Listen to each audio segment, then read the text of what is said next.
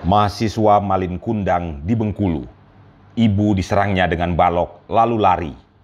Polsek Kampung Melayu Polres Bengkulu meringkus warga berinisial VA 19 tahun, seorang anak yang tega memukul kepala ibunya dengan balok kayu.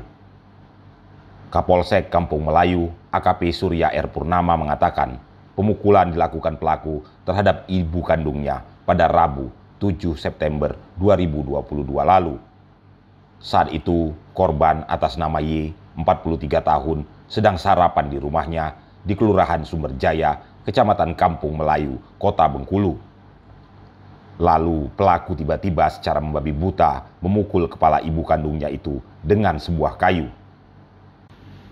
Akibatnya, Y harus dilarikan ke rumah sakit dan mendapatkan 40 jahitan di kepalanya.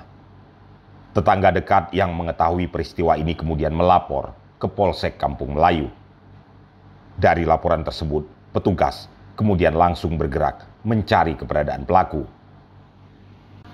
Kemudian, pada 9 September 2022, didapat informasi bahwa pelaku yang berstatus mahasiswa ini berada di kawasan penurunan kota Bengkulu. Tim Macan Kampung Polsek Kampung Melayu langsung menuju lokasi dan melakukan penangkapan terhadap pelaku setelah itu, pelaku dibawa ke Polsek Kampung Melayu untuk diproses secara hukum, kata AKP Surya kepada tribunbengkulu.com Kamis 15 September 2022. Selain mengamankan pelaku, petugas juga mengamankan barang bukti berupa balok kayu yang digunakan pelaku untuk memukul ibu kandungnya.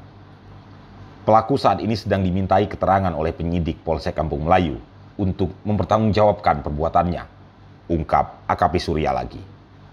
Pelapor mewakili warga yang berinisiatif membantu korban melaporkan kejadian ke Polsek Kampung Melayu untuk ditindaklanjuti.